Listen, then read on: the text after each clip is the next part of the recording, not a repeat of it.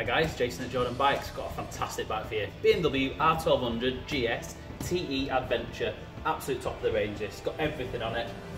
Full LED headlights, got LED spotlights, LED indicators, engine modes, adjustable suspension, heated grips, cruise control, all sorts on this one. See the engine bars on there. It's got a full three box luggage, well, aluminium luggage.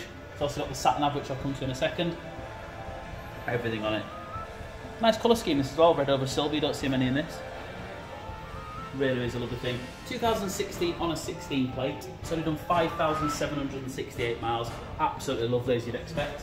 See the full sat nav on there, which you can control off this uh, the wheel over here. Do everything while you're riding. I'll have a good play about with it. So if you wanted to go off and uh, see the world or just nip down to chip shop and get everyone's tea in, you can do. Give it a start up for you.